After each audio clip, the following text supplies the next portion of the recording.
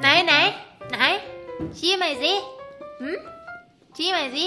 แล้วกินอะไรเมื่อกี้งบงบงบงบไม่ต้องกินเกาะมือมือมือมือได้แมมแมมแมมแมมแมมแมมลูกอะไร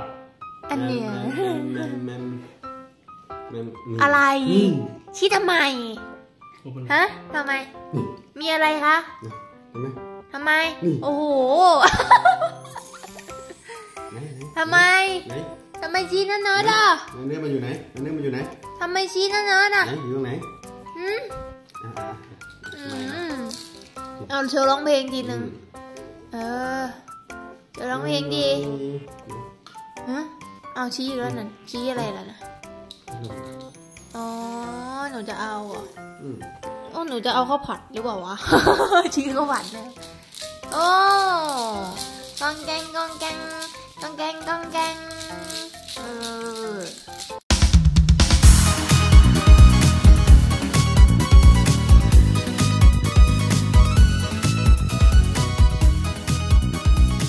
ปรากฏนะครับว่าจากเมื่อวานที่เราคุยกัน ถึงว่าเซตจะมีการพักตัวออกข้าง เป็นระยะเวลาประมาณ 1-2 สัปดาห์ แต่เอาเรื่องจริงก็คือวันจันทร์แล้วก็วันอังคารก็จบเกมเลยฮะเซตหลุดพันห้าเป็นที่เรียบร้อยแล้ว และไปปิด 1494 ปิดแบบไม่มีไส้ไม่มีเยื่อใยใด ๆ ทั้งสิ้นนะครับ ทีนี้ จังหวะที่เซตจะกลับมา ผมได้บอกแล้วนะครับ วันนั้นจะต้องเป็นวันที่มีวอลุ่มหนา และก็มีไส้ทิ้งบนทิ้งล่างในลักษณะอย่างนี้ ก็เจอเขียวแรกเมื่อไหร่ก็คือเมื่อนั้นไอ้เขียวแรกที่มันเกิดขึ้นเนี่ยตำแหน่งมันเกิดตรงไหนก็ได้นะครับ มันอาจจะเกิดตรงที่พันห้าเลยก็ได้ หรือจะทิ้งจะทิ้งลงมาอย่างนี้นะทิ้งพันสี่แปดสิบแล้วก็ดึงกลับมาแบบนี้ก็ได้เหมือนกันนะครับ แต่ถ้าทิ้งอะมันคงไม่ไม่ได้ทิ้งลึกแบบ พันสี่หกสิบอะไรเงี้ยเออผมคิดว่าถ้าทิ้งจริงๆก็น่าจะอยู่ในโซนพันสี่แปดสิบพันสี่เจ็ดสิบไปปลายอะไรทำนองนี้นะครับ แต่ชุดโซนเนี้ยฮะมันหลุดพันห้าลงมาเนี่ยมีโอกาสในการที่จะดีดกลับได้ค่อนข้างสูงนะครับ เพราะฉะนั้นถ้าเกิดใครมาเล่นฟอนโลพุทนะครับ ตามชุดเนี้ย ก็ต้องระมัดระวังจริง ๆ จังหวะนี้มันเล่นได้ทั้งสองหน้าแหละ เพราะว่ามันจะเกิดจังหวะของการหลอกนะครับไม่ว่าคุณจะเล่นพุทธหรือคุณจะเล่นคอ ให้คุณเน้นเล่นสั้นๆกำไรและหนีเลยนะเนี่ยจังหวะช่วงนี้คือจังหวะมันๆเลยนะฮะเพราะว่ามันจะสวิงแรงมาก และคำว่าแรงตัวนี้ถ้าเกิดเราถูกทางเนี่ยโอกาสในการทำกำไร ถูกทางในที่นี้เนี่ยมันพูดได้ค่อนข้างยากครับ เพราะว่า ดูชุดของการสวิงแล้วกัน เอาแบบหนึ่งนาทีเลย เนี่ย เห็นไหมอย่างนี้มันก็ลากขึ้นมาแล้วมันก็จบ เพราะฉะนั้นถูกทางในที่นี้มันอาจจะเกิดเพียง 30 นาที ไม่เกิน 1 ชั่วโมง แล้วมันก็เกิดชุดวิ่งลงมีการกลับตัวขึ้น อย่างนี้ก็มีนะครับ เพราะฉะนั้นสามารถเก็งกำไรได้ทั้งขาขึ้นและขาลงเลยช่วงนี้นะแต่สำหรับใครที่เป็นสาย กะกินปันผลถือหุ้นยาวๆ โอกาสเนี่ยผมมองว่าตัวนี้ก็โอเคแล้วล่ะ 1494เนี่ยก็โอเคแล้วนะครับ ถ้ามากกว่านี้นะถ้าลงมามากกว่านี้ก็ถือว่าเป็นกำไรแล้วกันนะถือว่าเป็นโอกาสที่ทำให้คุณได้ของที่มันถูกลงมากกว่าเดิมหลาย ๆ ตัวนะครับ ก็ในคลิปนี้ผมจะขอยกในส่วนของข่าวหุ้นออกไปก่อนนะครับ เราจะมาคุยกันในเรื่องของ หุ้นที่เป็นโซนขาลง ตัวไหนที่จบเกม ตัวไหนที่อยู่ในโซนแนวรับ ตัวไหนที่มีโอกาสจะเด้งได้ เราจะมาคุยถึงจุดนั้นกันนะครับในวันนี้ ซึ่งตัวแรกที่เราจะพูดถึงก็คือหุ้นที่มัน IPO เมื่อวาน SAV ดูแท่งแรกก็น่ากลัวจริง ๆ เลยนะครับ มันร่วงไปเท่าไหร่ 19อะ19เปอร์เซ็นต์นะเออ ดีนะมันไม่หนักกว่านี้นะฮะอ่าเรามาดูใน time frame เล็ก time frame เล็กกว่านี้อีกอ่า time frame หนึ่งนาทีนะครับ จะเห็นว่าออกข้างไม่ไปไหนเลยนะครับ ต้องเรียกว่าอยู่ในโซนบวกแค่ไม่กี่นาทีเท่านั้นเอง ไม่ถึง 10โมงอะ่ะ คือตลาดเปิด9โมง59 คือเหนือราคาจองแค่นาทีเดียว เอางี้ดีกว่า หลังจากนั้นก็อยู่ในโซนลบตลอดเลย แล้วก็ทิ้งยิ่งช่วงบ่ายมาก็ยิ่งทิ้งนะครับ ราคาสุดท้ายก็โอ้โห ในลักษณะอย่างนี้นะ มีโอกาสนะ ที่ช่วงแรกของวันนี้จะเด้งนะไหมครับ แต่เป็นการเด้งเพื่อลงต่อนะะมีโอกาสเด้งได้นะ อาจจะมีการหลอกการอะไรกัน เพราะว่าวอลลุ่มช่วงท้ายนี้ก็แรงพอสมควรนะ5ล้าน9แสนหุ้น ก็ลองติดตามดูนะครับ stop loss นะครับ อยู่ที่ 15.3 ถ้ามันเด้ง แต่ถ้าไม่เด้ง เออ เปิดมาแล้วหลุด 15.3 เลยก็ bye bye ไม่ต้องเข้าไปจับจองอะไรกันนะฮะ มันจะมีแนวรับจุดจิตวิทยานะครับ อยู่ที่ 15 บาทถ้วน ถ้าเกิดใครจะมองเก็งกำไรต้องเน้นความไวนะฮะ ต่อด้วยตัวสามารถ สามารถเนี่ยถือว่าหลุดกรอบนะฮะ ตรงนี้นะ ถือว่าหลุดกรอบไซด์เวย์ที่เป็นจุดสะสม มาในระยะเวลาอันยาวนาน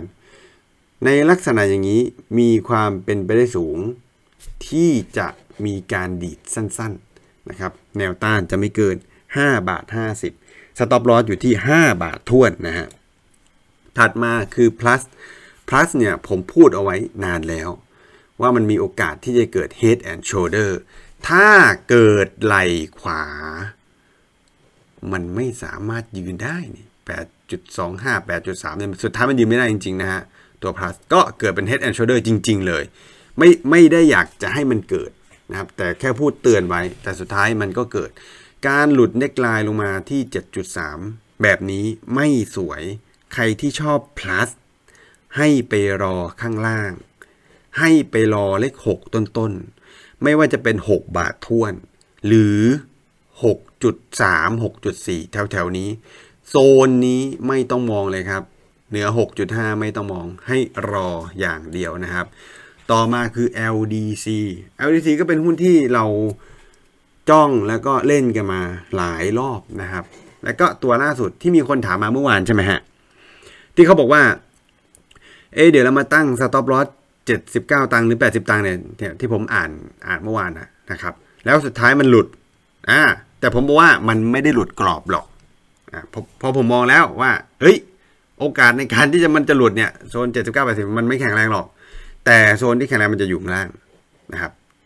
72 ตังค์จริง ๆ 74 ตังค์ใช้เป็นแนวรับได้ ไม่ได้น่าเกลียด และให้วาง stop loss ที่ 72 ตังค์รอดูวันนี้นะครับ ถ้าเด้งก็เด้งเลยฮะ แนวต้านก็จะอยู่ที่ 80 ตังค์เป็นต้นไปจนถึง 90 ตังค์นะครับ ถัดมาคือ AS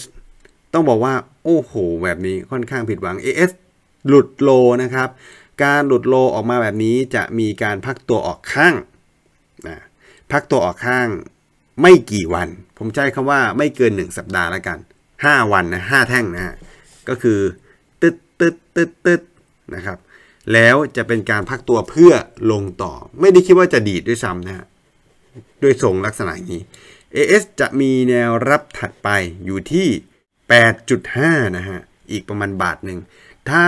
ใครจะลุ้นเด้ง ให้ไปลุ้นที่โซนนั้นที่ 8.5 นะครับ ถัดมาคือหุ้น D Dental มาครบนะฮะ LDC แล้วก็ D Dental D Dental เนี่ยใกล้จุดที่น่าสนใจเหมือนกัน แต่จริงๆ ตรงนี้ก็ก็ใช้ได้นะครับ ย้ำอีกทีหนึ่งชุดที่นำมาเล่าวันนี้นะครับเหมือนเรื่องสยองสองบรรทัด เป็นชุดที่ลุ้นเด้งสั้น อย่าไปหวังการกลับตัว โอเคไหม เราลุ้นกันแบบ 3-5 วัน แต่ก็แล้วแต่กรอบนะ บางตัวผมก็อาจจะให้ถึง 2 สัปดาห์นะครับ แต่อย่างดีเดนเท่าเนี่ยก็เอาแค่ 3-5 วันก็พอ แนวต้านไม่เกินนะ ไม่เกิน ไม่เกิน 6 บาท สต็อปลอสที่ 5.5 นะครับ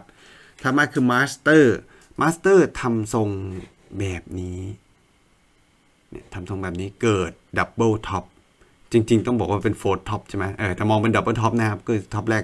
จุดนี้ แล้วก็ top ที่ 2 ก็อยู่โซนนี้ แล้วก็หลุด neckline เป็นที่เรียบร้อยแล้ว ใครชอบใครรอ MASTER ให้ไปรอข้างล่างนะครับ ให้ไปรอ 50 กลางกลาง55 56 แถวๆนี้ โซนนี้ก็ปล่อยเขาไปก่อนนะครับ มีโอกาสที่จะได้ของในราคาที่มันถูกลง แล้วก็ตัว MASTER ผมคิดว่า story ยังมาให้เห็นอยู่เรื่อยๆนะ ถัดมาคือ YONG YONG เนี่ยเป็นลักษณะ pattern ที่มีความคล้ายคลึงกันกับ AS ไม่ไม่ได้คล้ายกันมากเลยนะ แต่ว่ามีความคล้ายคลึงกันก็คืออยู่ในโซนแนวรับแทบจะวันเดียวกัน แล้วก็หลุดวันเดียวกันนะครับ ตัวนี้จะมีแนวรับอยู่ที่โซน 2 บาทต้นๆนนะครับ ให้รอประมาณ 2.08 ตอนนี้มัน 2.14 ก็ใกล้แล้วนะครับ จุดที่จะเด้งก็ อยู่ที่ 2.04 จนถึง 2.08 แนวต้านไม่เกิน 2.20 ต้องย้ำกันอีกทีหนึ่งนะครับ ที่เอามาให้ดูในวันนี้หลายตัวไม่ใช่จุดซื้อนะ แต่เป็นจุดที่จะต้องรอ เพราะฉะนั้นหุ้นที่เป็นขาลงก็อย่ารีบไปคันไม้คันมือนะถึงเวลารอต้องรอ ถึงเวลาเล่นต้องเล่น ถึงเวลาไล่บางทีก็ไล่บางที น่ากลัวเกินไปไกลจุด support เกินไปก็ไม่น่าไล่นะครับ ถัดมาคือ SINGER SINGER นี้มีโอกาสสูงมากนะครับ ที่จะสิ้นสุดการพักตัว สิ้นสุดการพักตัวในที่นี้คือ พักตัวเสร็จแล้วก็จะลงนะทีเนี้ยอะแล้วการลงในกรอบนี้มีโอกาสต่ำกว่า 10 บาทได้ด้วยนะ เพราะฉะนั้นระมัดระวังนะครับ เพราะมันหลุดโลลงไปแล้วเนี่ยเห็นไหมเนี่ยมันหลุดโลลงไปแล้ว อาจจะเป็นแบบหลุดไม่มาก ถ้าใครรับความเสี่ยงไม่ได้อาจจะต้องถอยก่อนนะสำหรับซิงเกิลชุดนี้ ต่อด้วยตัว TKS ที่ไม่คิดว่าจะหลุดในกรอบนี้ได้ เออ 8 บาทเนี่ย เอาจริงไม่คิดว่าจะหลุดแต่สุดท้ายหลุดนะครับ ไปต่ำสุดที่ 7.7 เรามาดูแนวรับของ TKS อยู่ที่ตรงนี้เลยนะครับ ตรงนี้เลยนะที่ 7.7 นะฮะ เพราะฉะนั้นโซนนี้มีโอกาสเด้งได้แต่แน่นอน ถ้ามาอย่างนี้ก็มองว่าเป็นการเด้งเพื่อลงต่อนะฮะ แล้วก็ STA อัปเดตต่อจากเมื่อวานที่มีคนคอยเล่นอยู่ที่ถามคำถามเข้ามานะครับ ที่มองว่าแนวรับอยู่โซน 15.9 16.0 มาแล้วนะครับ ถ้าใครจะเล่น STA นะครับ แนวต้านไม่เกิน 17 บาท Stop Loss อยู่ที่ 15.7 นะฮะ ถ้าหลุดต้องยอม โอเคนะครับ แล้วก็ตัว RBF RBF จะคล้ายๆกับ Master คือหลุดแล้ว หลุดช่องสองช่องก็หลุด ถ้าเด้งก็เด้งสั้นๆ น่าจะเด้งแค่วันเดียว แล้วก็ลงต่อนะครับ ใครที่ชอบ RBF นะชอบสตอรี่ของเขาให้ไปรอต่ำกว่า 10 บาทนะฮะ โอเคไหมรอต่ำกว่า 10 บาท แล้วก็ตัวสุดท้ายคือเอเชียนเอเชียนนี่ใกล้ใกล้มาก อืมตรงเนี้ยมองเป็นแนวรับได้นะ 7.2 ไม่ได้น่าเกลียดนะครับ วาง stop loss ไว้ที่ 7.05 มีโอกาสเด้งนะครับ เด้งไม่เกิน 7.7 โอเคไหมแต่ก็พอที่จะทำกำไรในระยะสั้นได้อยู่นะครับ โอเค หมดแล้วสำหรับหุ้นที่ติดสแกน 2 อะไรนะ เรื่องสยอง 2 วันทัดของวันนี้นะครับ ใครที่จะไปเฝ้าหน้าเทรดไปเฝ้าได้เลย แต่ใครที่ถามคำถามทิ้งไว้ เดี๋ยวเรามาพูดคุยกันต่อในช่วงท้ายคลิปอ้อ พอดีมีฝากประชาสัมพันธ์นะครับสำหรับใครที่อยากวางแผนเรื่องการเงินของตัวเอง หรือไม่เคยแบบรู้ว่าจะต้องไปในทิศทางใดมีรายรับรายจ่ายอะไรเข้ามาอะไรกันยังไงนะครับ คือหนึ่งใน part ของผมเนี่ยคือการทำรายการประกัน showcase ถ้าเกิดใครเคยดูนะอะจะทำคู่กับน้องท่านหนึ่งแล้วก็เพื่อนท่านหนึ่งนะฮะก็คือน้องจิมมี่แล้วก็เพื่อนวิน ซึ่งเราก็มีโปรเจกต์ที่อยากจะทำงบการเงินส่วนบุคคลสำหรับเพื่อนๆ แต่มันจะเป็นเวิร์กช็อปอ่าโดยที่จะจัด 2 ที่นะครับ คือที่จังหวัดอุบลราชธานี แล้วก็ที่กรุงเทพมหานคร ผมจะทิ้งลิงก์เอาไว้สำหรับใครที่จะเข้าร่วมกิจกรรมกับพวกเรา โดยที่ตรงนี้ไม่มีค่าใช้จ่าย ใด ๆ ทั้งสิ้นนะเออยกเว้นค่ากาแฟ ถ้าอยากจะซื้อกาแฟกินก็อันนั้นก็เรื่องของคุณเองนะครับ ในกิจกรรมจะเป็นกิจกรรมทั้งวันตั้งแต่ 9 โมงถึง 16 นาฬิกา ใครที่มาที่อุบลนะครับวันที่ 14 ตุลาจะเจอกับผมอ่าจะเจอกับน้องเวลาด้วยในงาน แต่ถ้าเกิดใครไปไปที่กรุงเทพนะครับ ก็จะเจอกับวินแล้วก็ทีมงาน คือผมจะไม่ได้ไปด้วยนะครับ เพราะว่าผมอยู่อุบลเป็นหลักเนาะเพราะฉะนั้นใครที่มาก็จะเจอกันแต่ เราจะจำกัดจำนวนอะคือที่ละ10ท่านเท่านั้น เพราะว่ามันจะมีความความยากแล้วความละเอียดในการทำงบการเงินส่วนบุคคลของท่าน ซึ่งผมคิดว่ามันเป็นประโยชน์นะครับ ใครว่างตามวันและเวลาก็ add สมัครกันเข้ามาได้นะครับ แต่คือถ้าเกิดคิดว่าว่างดีไม่ว่างดีก็ก็ไม่เอา เพราะว่ามันจะเป็นการกันสิทธิ์ของคนอื่น เพราะเต็มแล้วเราก็จะไม่รับนะครับ โอเคนะฮะ ให้กดมาที่ลิงก์หรือแอดไลน์มาถามที่ Line แอด WFAM จะไม่ใช่ add Money Hero นะอ่า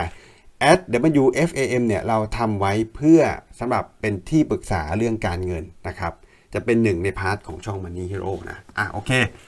ก็ประชาสัมพันธ์เสร็จแล้วก็เดี๋ยวเรามาดูคำถามท้ายคลิปกันดีกว่านะครับขอแนะนำ AKR มาครับ AKR หลุดเรียบร้อยแล้วนะครับตัวนี้จะเป็นการเด้งและ ก็ไม่น่าจะเกิน 93 ตังค์ผมให้แค่ 91 ตังค์แล้วกัน เป็นการเด้งเพื่อลงต่อนะครับ ITC จะผ่านแนวต้านนะ เออ น่าสนใจเนาะไอตัวกลุ่มอาหารสัตว์อะมาดูนะครับ ITC มันกลับมาแล้วนะ คือ คือต้องเรียกว่าไงอะ มันมีจุดที่น่าสังเกตหลาย ๆ จุด อันเนี้ย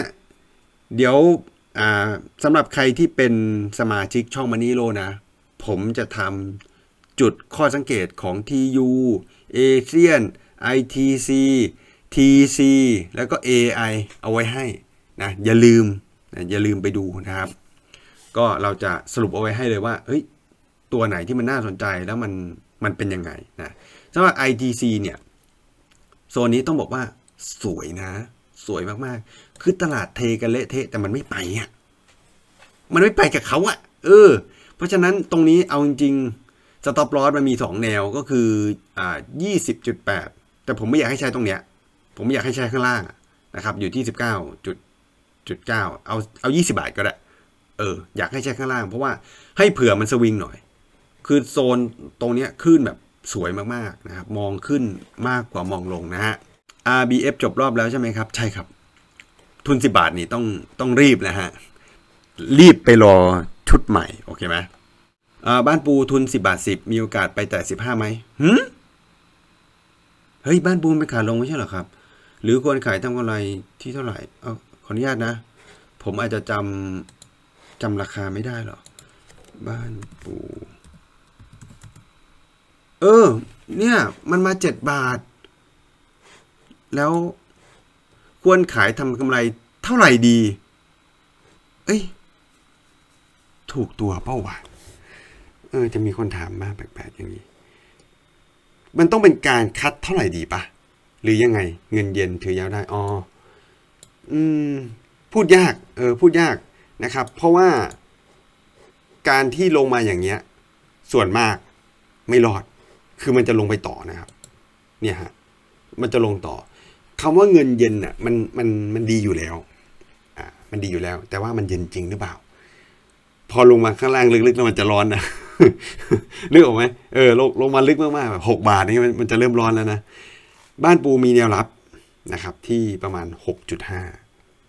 ตรงเนี้ยอาจจะต้องมองดีๆ ว่าจะถอยก่อนไหม หรือจะยังไงนะเออ หรือ หรือจะถัวถ้าถัวต้องต้องไปรอถัวข้างล่างนะครับ มีคนแซวนะครับบอกมี VIP แล้วจะมี VVIP อีกแล้วครับ คือเป็นกลุ่มเดียวกันนะครับสำหรับกลุ่มการบ้าน ติวเข้ม VIP แต่อาจารย์ออฟจะชอบเรียกว่า VVIP ก็ให้มันเป็น very very important person นะครับ ก็จะเป็นกลุ่มที่เราจะมาเน้นทำการบ้านกันในช่วงเดือนเนี้ยเนี่ยเดือนปลายเดือนกันยาแล้วก็เดือนตุลาทั้งเดือน แต่ว่าในเดือนพฤศจิกาเนี่ยก็ถือว่าเก่งกล้าวิชาแล้วล่ะ ในเดือนพฤศจิกาเราจะไลฟ์หน้าเทรดสดนะครับ เวลา 16 นาฬิกาถึง 17 นาฬิกา ทุกวันจันทร์พุธศุกร์เป็นเวลา 1 เดือนต่อเนื่อง โอเคไหมเพื่อนๆจะได้เห็นว่าหน้าเทรดมันเป็นยังไงเขาต้องดูอะไรบ้างในหน้าเทรดนะครับ bid offer ดูไหม ดูยังไง ดูยังไงให้ทัน แล้ว bid offer แบบไหน เป็น bid offer ที่น่าสนใจอะไรแบบนี้นะครับ ก็ใครที่สนใจนะอยากจะร่วมเป็นสมาชิกกับเราก็สามารถทักทายกันเข้ามาถามกติกาได้ว่าถ้าอยากจะเป็นติวเข้ม VP เนี่ยต้องทำยังไงบ้างนะครับ เราเรารับจำนวนจำกัดนะครับสวัสดีครับสบายถือระยะยาวมีโอกาสขึ้นไปเหมือน XO ไหม พูดยากคือ XO อะ มันขายซอสคือจบเลยนึกออกไหมฮะขายซอสขายยังไง ขายยุโรป ขายอเมริกา ขายออสเตรเลีย คือขายทั่วโลกเลย ในไทยขายแค่ 0.01%สบายทำอะไรอู้สบายทำหมดทุกอย่าง สบายจะโตยังไง นั่นเดี๋ยวผมก็งงหลงส้นตัวเองเหมือนกันเนี่ยนึกออกไหมอืมคือโมเดลธุรกิจไม่เหมือนกันเลยครับ ถามว่ามีโอกาสที่จะขึ้นไปเหมือน XO ไหมก็ต้องต้องดูว่าคนเข้าใจไหมอะเออ และสิ่งที่เขาพูดน่ะเออสิ่งที่ CEO ของสมายพูดอะ มันมีอันไหนจริง มันมีอันไหนไม่จริง เออเนี่ยแหละคือประเด็นนะครับ เพราะฉะนั้นถ้าถือระยะยาวก็ต้องได้ต้นทุนที่ดีฮะโซนเนี้ยอาจจะรอไปก่อนนะอาจจะรอไปก่อน ถ้ามีแล้วก็ถ้าอยากจะถัวก็ต้องรอก่อนนะครับ ขอแนะนำ C Fresh ติดอยู่ 2.5 น่าจะจบเกมนะตัว C Fresh ครับจบเกมเรียบร้อยฮะต้นทุน 2.5 ต้องถอยแล้วฮะจริงๆมันไม่ดีตั้งแต่วันนี้แล้วนะครับ เพราะว่าวันนี้มันเป็น เป็น shooting star ก็ถือว่าจบแล้วนะครับ แล้วก็วันต่อมาก็ยืนยันอีกนะเพราะมันไม่มันไม่ได้เล่นอยู่ในโซน shooting star เลยมันลงมาเล่นกันข้างล่างนี่อันนี้ต้องถอย แล้วก็เนี่ยยังไงก็ต้องถอยนะครับ เพราะว่ามันจบเกมแล้ว อาจารย์ค่าขอแนวโน้มไทยคมนะครับ ติดอยู่ 15 บาทจะซื้อถัว อยากทราบแนวรับว่าราคาไหนควรเข้าซื้อไทยคมอู้ไทยคมก็ไม่ได้แย่เท่าไหร่นะ เอาจริงโซนแนวรับก็แถวนี้ก็ได้ครับ 13.9 แต่แต่ stop loss ต้องมีนะ 13.6 โอเคไหมฮะ ถ้ารับเงื่อนไขไม่ได้ไม่ต้องถัวนะฮะ อ่า เพราะว่าเสียเงินทิ้งนี้เฉยครับ คือถ้าคุณถัวตรงนี้ใช่ไหม3.9 แล้วไม่ stop 3.6 แล้วลงไปอีกคุณก็จะหาเงินมาถัวไปเรื่อยๆ หุ้นมันจะหนักไปเรื่อยๆ เพราะฉะนั้นถ้ารับเงื่อนไขแรกไม่ได้ ไม่ต้องถัวแล้วก็ปล่อยเซอร์ หรือไม่ก็ต้องคัดตรงนี้อยู่ดีเนี่ยจุดเป็นจุดคัดที่ดีนะ 13.6 โอเค อะ จบลงไปแล้วนะเขามีคนทัก กันเข้ามาว่าได้ข่าวว่าอุบลน้ำท่วมแล้วหรือนะครับ ก็ไม่แน่ใจ เออ แต่ว่าโซนที่ผมอยู่เนี่ยมันมันไม่ท่วมนะ ในเมืองก็ยังไม่ได้ท่วมนะ แต่น่าจะเป็นการท่วมโซนที่ท่วมเป็นประจำอยู่แล้วอะเช่นริมมูลหรืออะไรเงี้ยนะครับ ก็ขอบคุณที่ถามถ่ายกันเข้ามานะครับสำหรับวันนี้ต้องขอตัวลาไปก่อนนะครับ เดี๋ยวเจอกันใหม่ครั้งหน้าขอบคุณและ สวัสดีครับ บ๊ายบาย